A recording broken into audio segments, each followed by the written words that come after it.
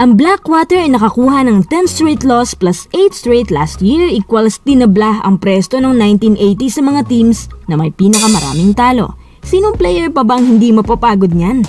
Alam nyo ba mga quiz, na si Enciso ay napapagod sa Blackwater imbes na grabe yung pagsisipag niya. Nauwi lamang sa kahihiyan ang team dahil sa winless campaign. Sa social media, ang dami nagsasabi, benta na lang yan, kinakawawa lang sa PBA. Farm team lang pero nagpapa-farm naman. Masaganang ani, nasa mayamang teams habang yung Blackwater, halos lantang damo ang iniiwan. Ang Blackwater sanay na yan sa mababang standings. Pero si Coach Nash at Simon Inciso naninibago. Malaking benefit kay Inciso ang paglipat sa Blackwater kasi halos dumoble or triple pa nga yung playing time na binibigay sa kanya. Sa katunayan, siya ang dahilan kung bakit nakakadikit minsan ng team kaso wala siyang natatanggap na suporta mula sa kanyang team. Halos dalawa hanggang tatlo lang ang may contribution. Dahilan para mapagod si Inciso. Yung mga kasama niya hindi na rin ginaganahan. Kung ayaw na nga ng mga players, mas lalong ayaw na rin ni Coach Nash at ng owner. Sabi ng owner, binubuli kami ng PBA. Sabi ng PBA, nagpapabuli naman kasi. Napansin ko rin na ang Blackwater kulang na kulang sa legit center. Wala rin masyadong legit shooter. Sino ba yung franchise player dyan? Macbelo sana yon. Kaso binigay naman.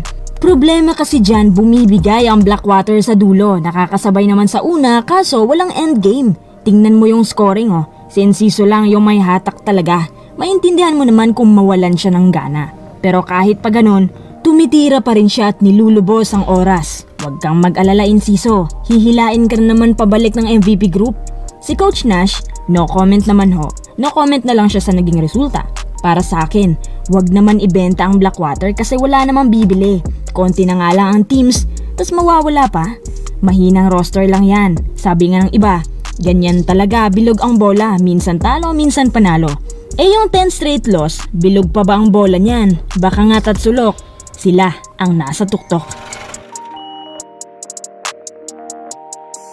Next update naman tayo, pag-usapan naman natin yung sinasabi nilang game fixing na hindi mamatay-matay. Tinanggi naman ng PBA na may game fixing dito, syempre. Mahirap magkomento na meron kung wala talagang klarong ebidensya. Unlike sa ibang liga dito sa Pilipinas, uso at talamak ngayon ang bentahan ng laro gaya ng nangyari sa isang San Miguel bench player na pumasok sa pag-game fixing kasama ang kanyang mga kaibigan pero may isang boss umano ang involved doon sa pag-uusap. Sino kaya yon? Itinanggi ni De Guzman ang lahat ng mga paratang sa kanya kasi hindi naman daw siya nagsusugal at hindi rin naglalaro.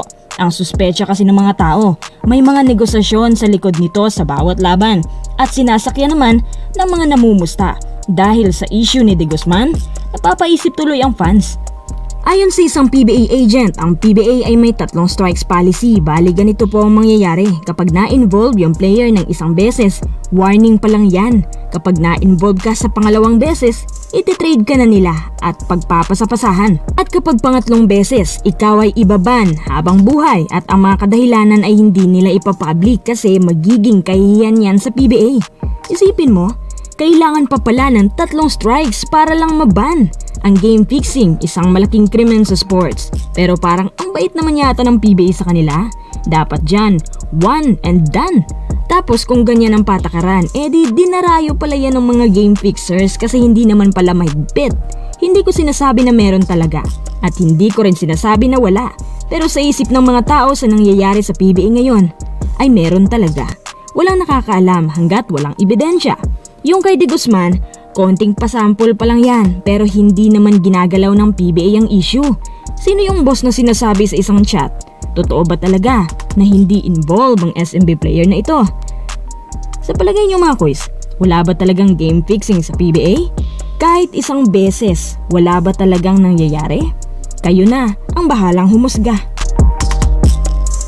Mga stay tuned lang meron pa tayong shoutout. Sa dulo nito meron din tayong highlights. Sa mga hindi matawag, ang inyong shoutout ay bukas pa. So abang-abang lang po. Ngayon po itatawagin ko ng mga nagpa-shoutout. Shoutout naman ako kay John Isaiah Di Macali Aaron Justin Perer Nelson Canoy Cesar Zamblan MLDR TV, Brian Punsalan, Michael D, Friendzone TV, Rodin Grifalda, JGC Boom, Eddie Brioso watching from New Zealand, Efren Jokno, Kindus Locanyas, Rene Boy Priinal, Eli Barrios, Francis Junicio, Rudy Camigin, Dreamboy TV, Brian Cagas at Kai, Ray Lu Miguel.